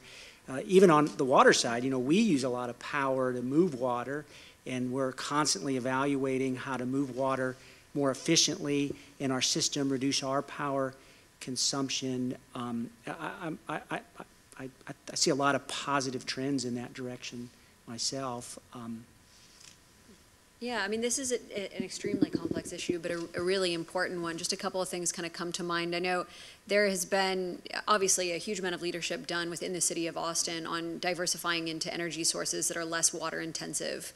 Um, and there's been, I think, a growing amount of interest in the surrounding region um, in those types of energy resources, but a lot of resistance um, that I think it takes lots of different people to try to overcome. One example is the Pedernales Electric Cooperative um, has had some shifts um, at the board level where there was a lot of resistance to this uh, kind of nascent uh, or growing interest among their co-op members in uh, low water renewable energy sources and energy efficiency and solar and wind um, and a real um, intentional drive to try to keep kind of board leadership focused on traditional uh, types of supplies of, of energy, which are extremely water intensive.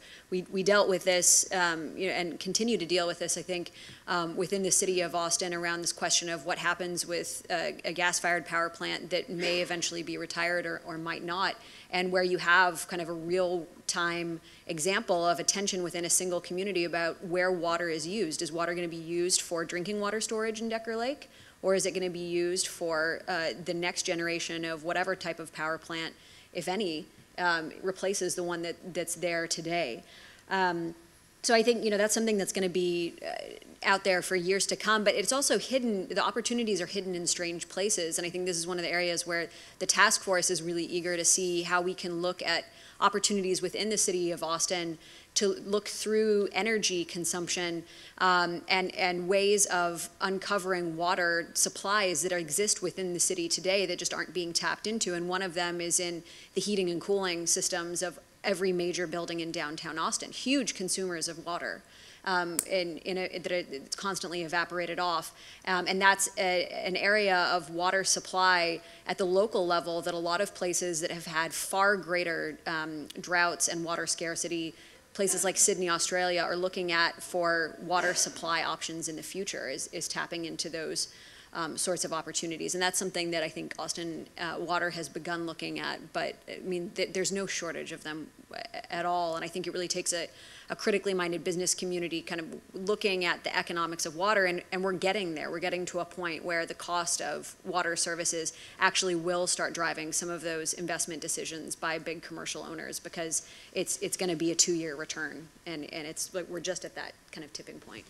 Just the, the other water energy connection I would add is, uh, you know, often people will bring up like desal, like just if we're by the ocean, let's just go desal ocean water or desal brackish groundwater, but that brings in the energy nexus. I mean, that, that to, to desalinate water is hugely energy intensive. Uh, I mean, you almost have to build a power plant next to your water plant to desal water, and then you have the residuals, the salts to deal with. So this thing is, you know, very commingled. That, that's why it gets so expensive. You know, you look at like desal water. The reason that people don't do desalination is is just comparatively.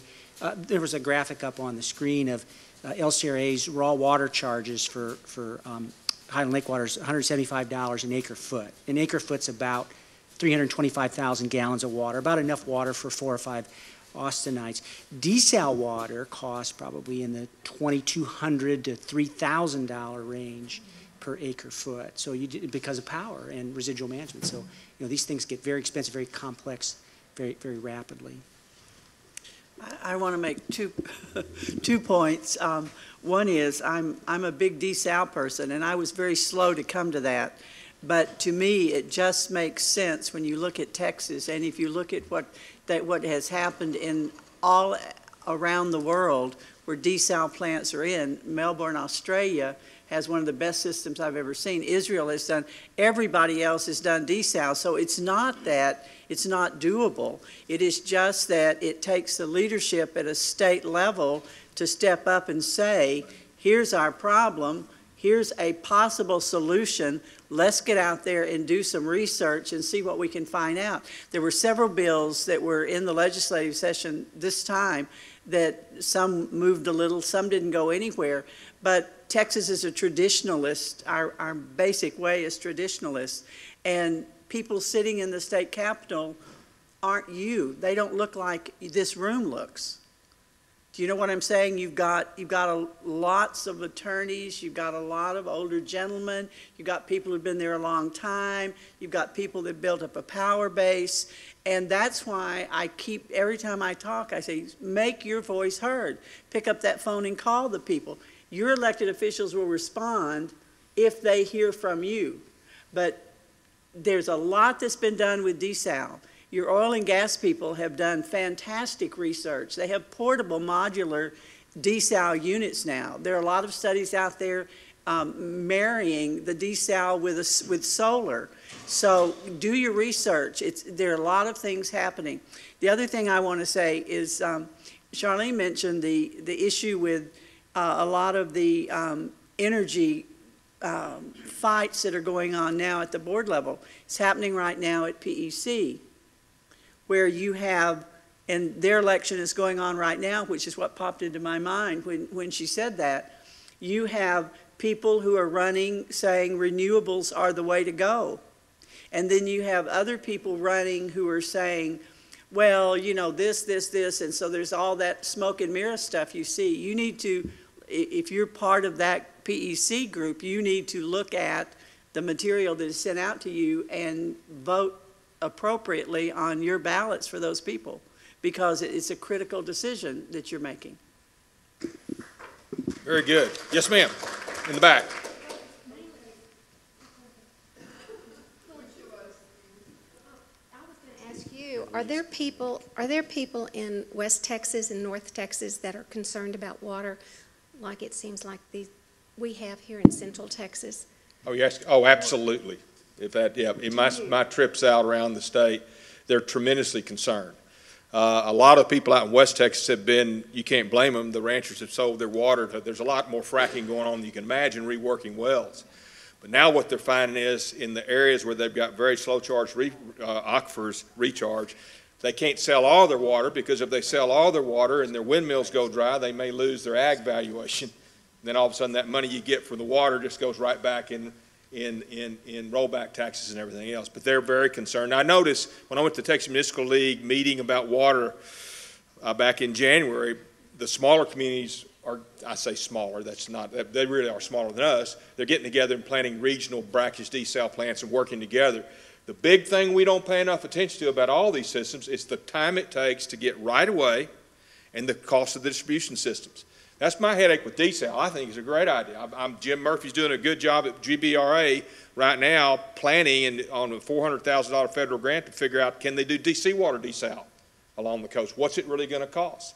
But the big part of that is the distribution system. I start to try to figure out how much does desal cost, the numbers all across the board. And many times the numbers aren't fully flushed out. So the whole system's a big process. But yes, the, West Texas people are, are in their own way and they're in, into it very much. And you had a question? Yes, ma'am. I guess I'm getting more personal on this. Um, I've worked with some people that are looking to purchase land or have purchased land east of us uh, towards Bastrop. And of course, they're very concerned if uh, uh, they will be able to have a well, or if there is a well, or we really don't even know sometimes if there's a well on the property. Is there a map that shows us the water districts? Is there a relationship between LCRA and these water districts? Do there, are there laws that uh, have them having to fill up their wells like there seemed to have happened here in Austin back about 15, 20 years ago? What is that whole relationship there? And obviously, if these wells are continuing as they seem to be from here to Smithville, uh, that's taking water out of the lower Colorado. And so, how does LCRA handle that relationship also? Wow. That's a hard question. So for the rest of my doctoral thesis, um, those are really good, thoughtful questions. I think you need to start off with the premise that um, the law, the state of the law with respect to groundwater in the state of Texas is fairly well defined in some sense, and that, uh, and, and it was mentioned earlier that the groundwater conservation districts are the preferred means of managing groundwater in the state of Texas. Uh, and there is a fair amount of case law supported by guys that make a whole lot more money than Greg and I do that uh, bill by the hour uh, that have pursued the litigation that has resulted in the case law that underlies all of this. When you look at the Lost Pines District, which is basically Bastrop and Lee counties, they have been a very, very, very, what's the best way for me to say this? They don't look uh, favorably upon uh, permitting of, of groundwater resources. They're very protectionist in the way that they approach permitting groundwater resources, and that can be a double-edged sword. When you're talking about purchasing property in this area, it depends on whether you're talking about buying a lot for a house or buying a ranch. Yeah, if, if you're, if you're buying a ranch and you want to leave open the possibility of developing it as, as, uh, lar, you know, large lot subdivisions or, uh, or a a concentrated type development, um, your prospects for getting groundwater permitted for that are very different than if you just want to get a domestic well, because those are exempted under, under, under the current law. Um, in terms of protecting, uh, permittees, uh, that district, maybe more so than others, has been very, very uh, forward-leaning in the way they look at, at, at managing future users, some would say at their expense, uh, to protect existing users of the water. Um, The Lost Pines District has been very difficult to get permits out of. Um, We don't have a strong relationship with the Lost Pines District. We've worked with them. We just had some permits that we got on some property that we own at, a- at the Lost Pines Power Plant uh, that we got for us for, for, uh, for water supply for our, our power park there. It was very, very difficult for us to get our permits. It was very, very difficult. I mean, that's land we've owned for a long, long time. And, and, uh, it was basically instead of how much water can you permit for that land, it was how much do you need and how much do we think you need. Uh, and again, this was on a property that we own. We have an arrangement with the, uh, the Boy Scouts over, uh, a ranch that's not far from there, uh, for groundwater rights associated with that five thousand acres, but we haven't gotten any permits for it yet and don't plan to for the immediate time being because of some of the uncertainties associated with trying to permit groundwater in the state of Texas, and in particular in this area right now. In terms of the effects of groundwater withdrawals on the river, that is an area of, uh, of expanding science in terms of trying to draw a relationship between the two. We know there is a relationship. We don't know to what extent deep groundwater withdrawals affect uh, uh, uh, water supplies in the river itself. Groundwater, shallow groundwater supplies, there's a pretty uh, well-understood relationship between the two, but these deeper sources, it's, it's more difficult to draw a, a tangible relationship between the two to understand what the effect of these drawdowns might be on the river itself and base flow. Does that, does that answer your questions? I'll comment then one more question of yours in just a sec. Let me make a quick comment, then we'll, then we'll finish up. The House Natural Resources Committee did an interim report on water that came out in January, and in speaking to this kind of general thing, and it's just not Bastrop, it's around the state. It said very clearly that the water code does not allow discrimination between, uh, to- to- for a district to discriminate transfer of water outside the district. But it also depends on science. And here's what's going to happen, having been an expert witness so many hundreds of times. A jury's going to have to decide someday between three different hydrologist reports and tell, that all say three different things as to what the science says about these aquifers. And the problem I have, and in fact, I'm writing another book, my dissertation is going to be about, does Texas need a special water court? And I'm comparing to the Spanish water courts of old that dealt with things in a year instead of 15 years. So, yes, sir, your question. Yes, um, you talked earlier about the uh, 30 to 50 percent of water use has gone to outdoor use. And so from a conservation standpoint, a policy standpoint, um, what are our big ideas about how we're going to address um, future new developments and drought-tolerant plantings, um, and and also whether it's in a new development or a single lot in the city? Uh, We've done well with um, creating impervious cover rules, but this is sort of the next step. How do you tie that into uh, drought-tolerant landscaping anytime somebody wants to get a building permit in town just to renovate or as well as build, um, so that we can be more conscientious about how to use the water we have? I can start. Please. Well, uh, good, good question and good perspective. I I mean, I I would add kind of some context there a little bit. Um, uh, Traditionally, historically, uh, outdoor irrigation has made up a large portion of certainly municipal water use, and uh, that is Austin's history, although with the drought and our drought uh, and conservation strategies, the proportion of water that goes for outdoor use has dropped significantly for Austin's market. Uh, As I mentioned in my introductory remarks, that Austin uses less water per day today than we did even 15 years ago, even with a growing population.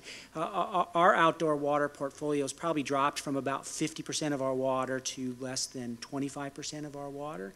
You know, we, we've been in um, we've been obviously a very early adopter of conservation. We early adopter of water restrictions. We've been in one day per week water restrictions here in Austin for almost four consecutive years, and not just um, kind of wink, you know, like, hey, maybe you should water one day. I mean, we will fine you. We write thousands of fines and warnings a year. I mean, we are serious about it, and you know that's had a profound effect in reducing water demand. I, I think just in terms of my own thinking, I, I don't see Austin going back to uh, two day per week watering probably in the future. I think we could very well be in one day per week watering forever. I mean, that's a policy decision for our council and others to weigh, but, but I, I, that's kind of my thinking, you know, after four years in one day per watering, I think this trend of reducing outdoor water use needs to continue. Uh, in part, it's going to happen in a lot of ways. One, it's going to take the existing inventory and, and, and, and changing those, those landscape uses. Um, I mean, I'll just speak to my own experience. I live in a traditional uh, uh, kind of subdivision uh, in the city of Austin. And um, when I moved in seven years ago, we had very traditional lawn, and I had banana trees growing in the back from my neighbor. And uh, you know, I don't have banana trees anymore. I've lopped off a third of my sprinkler heads. I have rocks where my park strip used to be. Um, I think those small steps that are happening continuously are going to ultimately convert more and more landscapes. As I mentioned in my remarks, I think very soon, we're going to be making an announcement in cooperation with the Home Builder Association that all future landscapes will be drought tolerant to start off with. So as new people are moving here, uh, it, it's going to be uh, drought tolerant landscapes. You know, we're continuing to do incentives. We have all kinds of incentives that we do. Like, you know, we had if you agree to not replace your lawn if it died during the drought, you know, we'll pay you not to replace your lawn, to replace it with more, more drought tolerant landscapes. So, you know, those kind of things are going to happen. Pricing signals is probably really important. As I mentioned again in my introductions, Austin has a very steep inclining block rate curve. The first few thousand gallons of water you use, you pay $2 a thousand. But once you give above 10, 12,000 uh, gallons a month, you're going to pay $10, $12, $14 a thousand. Again, to make you think more wisely about water. You know, one cycle of an irrigation system would often use two to 4,000 gallons of water, just one cycle. And so, you know, really want to encourage people to, to, to manage that much you know, much more effectively. Now, I will say, I'm talking a lot, but uh, uh, uh, a lot of outdoor water use is discretionary, but not all. You know, people water foundations to keep their, their houses stable. I mean, that's important. You know, that, that's a, a kind of a public safety issue. Austin loves its tree canopy. You know, we would not want to lose our tree canopy. I mean, if you were to go through a 2011 90 days above 100 degrees, and those are going to be more common in the future with climate change, um, you could you lose the entire tree canopy. So, you know, we do see some importance to preserving the ability to water outdoor to save like tree canopies and, and those kind of things. But, um, but, but, but certainly a, a much, you know, a lot, a lot longer uh, way to go. And, uh, uh, and, and we'll get there. I think our society's changing rapidly in that regard. I think, you know, there's some really interesting models of where we might be headed, and I think, you know, it would be great if all the water utilities and MUDs around Austin Water were doing what Austin Water is doing. I'm not sure that they are. So, you know, what's, what, what Greg and his, his team are doing may or may not be representative of what's happening in the broader region. Um, but it- it- exactly that needs to be happening across the board, both for existing housing inventory and new. And if you look at places like Vegas, um, they instituted their Cash for Grass program maybe five or six years ago. They've spent $30 million just in the, the amount of bond funding that they've put toward just Cash for Grass, just pa- buying uh, turf grass back from people and putting, putting it out of commission and putting more appropriate desert landscaping in place. Um, you've seen really kind of similar stuff happening in Phoenix. That means Phoenix looks nothing like it did back in the 70s and 80s. And you can actually see it as you look at the new areas that have developed, that it's just a completely different type of housing stock and type of outdoor landscaping. In Colorado, we're looking at communities where for a single family home to be built and attached to the water system, it's $30,000. Uh, for the tap fee to connect, because that's how expensive water is in the state of Colorado. And there, you're seeing really interesting developments in impact fees um, that would differentiate between a house that intends to put turf grass in and a house that intends to put, um, you know, uh, climate-appropriate landscaping that can knock that impact fee down to 2,500 bucks. I mean, that's real money talking. We don't have impact fees that are that high in Texas, which I'm sure many of us are grateful for. But, you know, th- that, that's kind of the direction that we need to be heading in so that we're not just kind of having, you know, a soft touch out there and trying to shift uh, landscaping uses, but actually, you know, putting money in, in place so that people have a real financial incentive to make that change. Okay. Well, as Paul's walking up to say a couple of finish, sorry? Oh, sorry, one more question? Oh, Bill, come on up. I'm sorry. Surprised me too.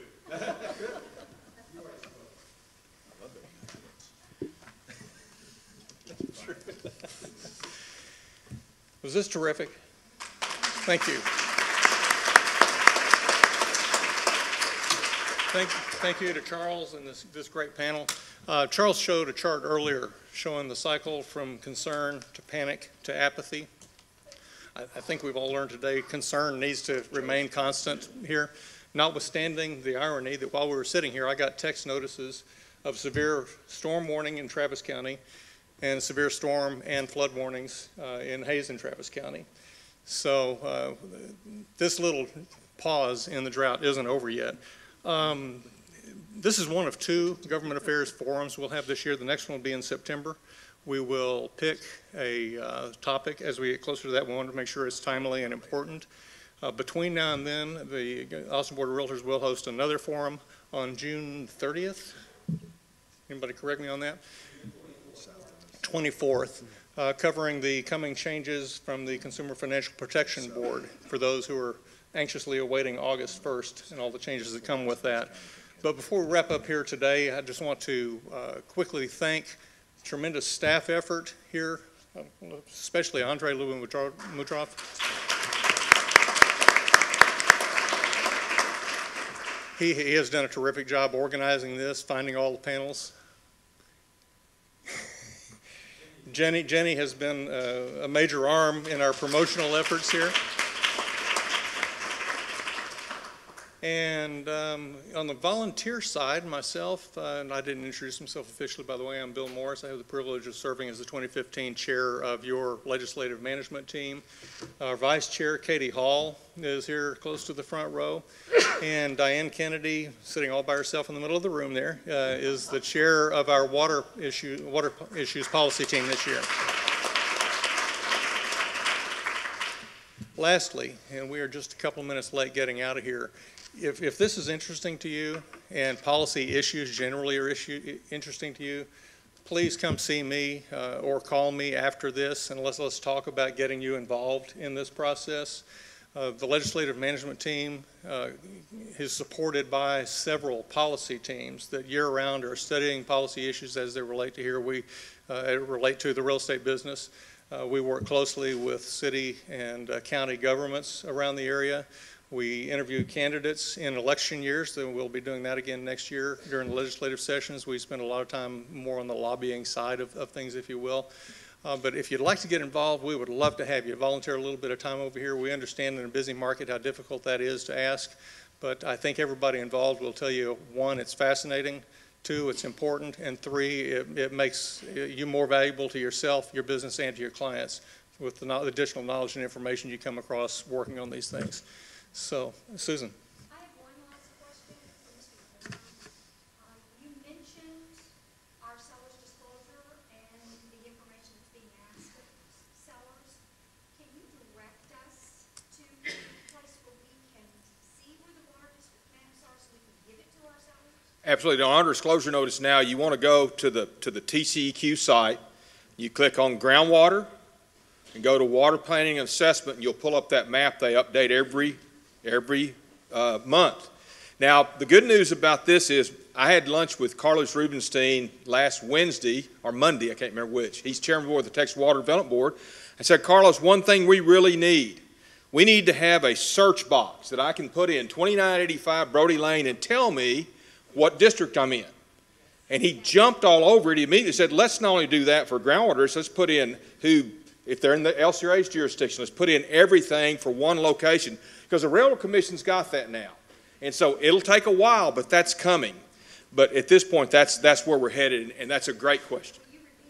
Go to the TCEQ site, click on, you'll see on the front page, you'll see groundwater. It's up at the top. Click on groundwater, go to the groundwater planning assessment, you'll see, G- go to GCDs, you'll find the map. Yes, Beth?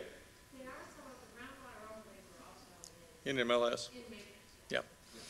Mr. Evans? The ABOR seller's disclosure includes the website to go to to find that Right. information. Absolutely. If you use the ABOR seller's disclosure when it asks that question, it tells you where to go to find out. Right.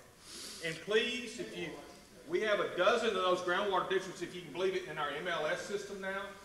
If you're out in those districts, one of the things that everybody told me when I interviewed all those district managers, nobody comes to the meeting except somebody looking for an irrigation permit.